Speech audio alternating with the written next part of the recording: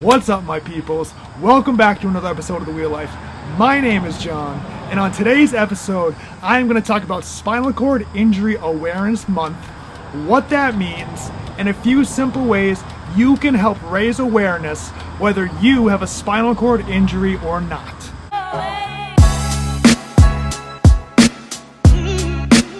So, without any further ado, let's get into it. Let's go. So, for those of you who don't know, September, as decided by the US Senate, is Spinal Cord Injury Awareness Month.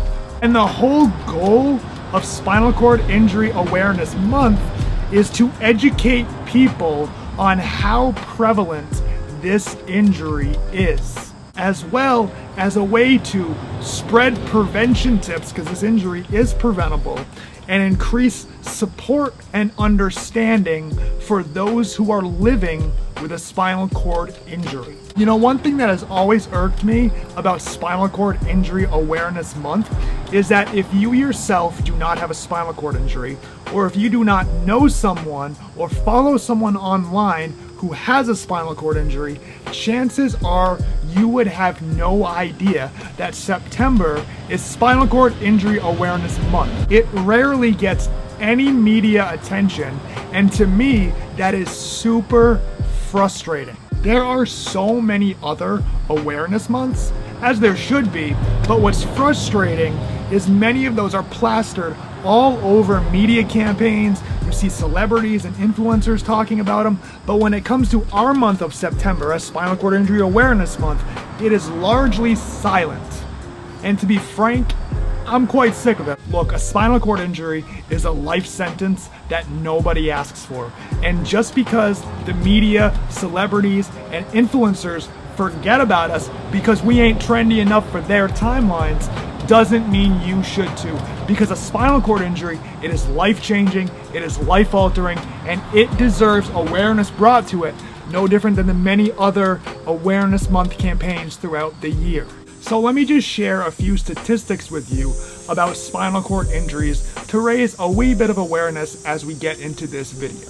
In the good old US of A, there are approximately 296,000 people who live with a spinal cord injury. Just a heads up, most of my statistics are from the US, so if you're from another country and you want to share some statistics of what's living with a spinal cord injury is like in those countries, please share them in the comments below. Let's raise that awareness. In the United States, every 48 seconds, someone is paralyzed. So that means by the end of this video, there will be multiple new spinal cord injured patients who are terrified and frightened. And we need to raise awareness for them and their families. And every single year in the US, there are 17,900 newly injured patients a year. And that is not including those who die on the scene from a spinal cord injury. Now, motor vehicle accidents, like the one I had, are the leading cause of spinal cord injuries. And that is followed by falls, acts of violence, like gunshot wounds, and then sports related incidents. It is also said that 78% of spinal cord injuries are made up from men. And I believe that is because women mature a lot faster and men are somewhat more stupid than women. You can yell at me in the comments if you don't agree with that, but the statistics don't lie. Now, when we look at the age of those who have a spinal cord injury or are newly injured, you see a large majority of them are in the age brackets from 16 years old to 30 years old. But what's interesting, in recent years, the new average age of somebody with a spinal cord injury is 43 years old. So getting paralyzed used to be a young man's game, but now all these older people, because we're living healthier and more active lives, are seemingly getting injured at a more frequent pace, which is kind of surprising. Another thing to consider is that the expenses living with a spinal cord injury is absolutely wild. So if you are living as a paraplegic at any level, it costs about $67,000 a year. When it comes to quadriplegics, when you live with a spinal cord injury between C5 and C7, like I do, it's estimated that it costs around $111,000 a year. And when you are a quadriplegic of the level C1 through C4, which is a lot higher up and a lot worse off, their estimated costs of living year after year is about $181,000 a year.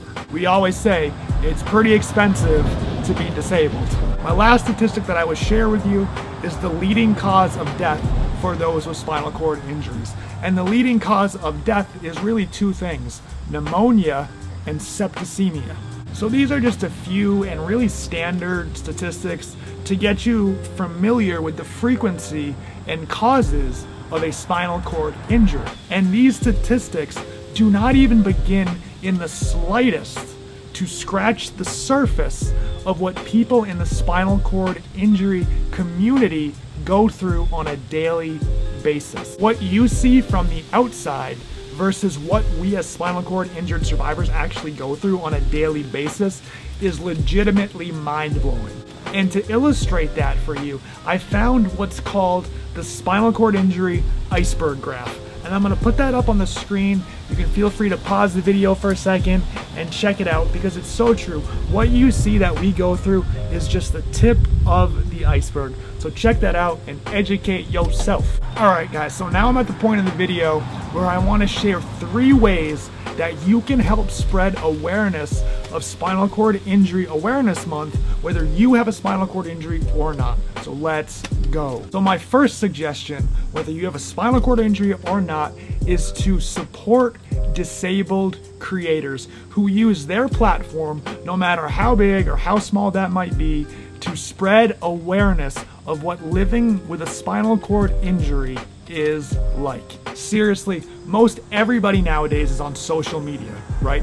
And it costs you absolutely nothing to like, comment, and share a post created by someone with a spinal cord injury who is using their platform to raise awareness. So y'all just take a minute to stop arguing about politics on Facebook and share something that will add value to another person's life. So my next suggestion, especially for those who do not live with a spinal cord injury, is to take some time and try to educate yourself about what living with a spinal cord injury is actually like and brush up on many of the issues that we face on a daily basis. Because really, the whole point of Spinal Cord Injury Awareness Month is to educate the public on what it is really like, what the challenges of living with a spinal cord injury are really like. So the more you know, the more you educate yourself,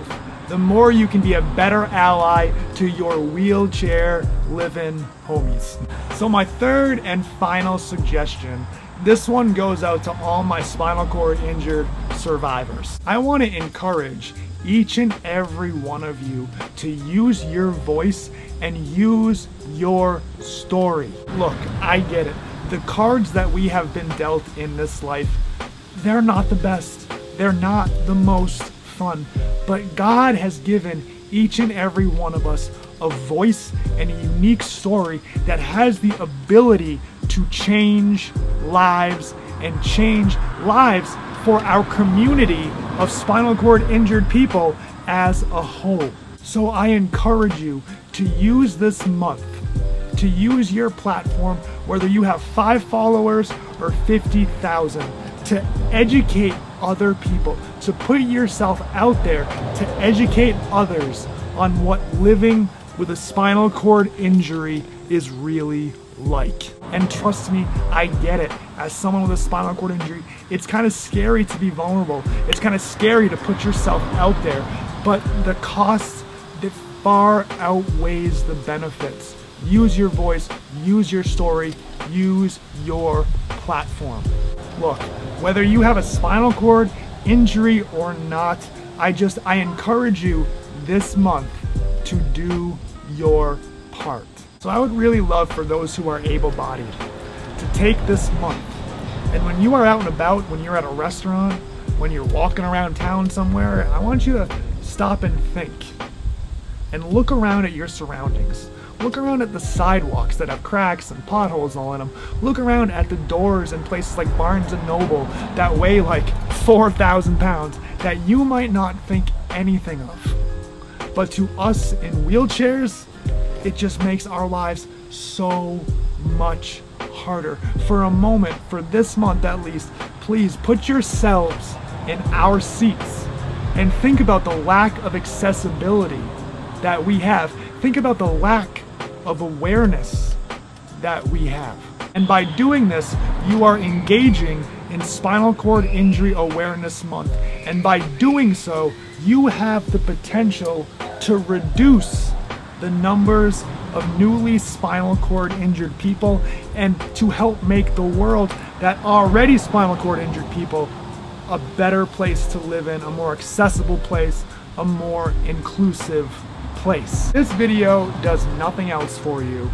I just hope and I pray it helps you be thankful for the working limbs you have and the ease of accessibility you are privileged to have. Let's all take a day, take 31 days, take 365 days to count our blessings and be grateful for what we have. Because we all have something to be thankful for.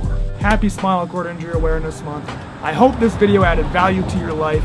If it did, please like, comment, share, subscribe, whatever. But I just, I pray that this helped you in some way. I hope you're staying safe. I hope you're keeping the faith. I'll see you in another video soon. Let's go.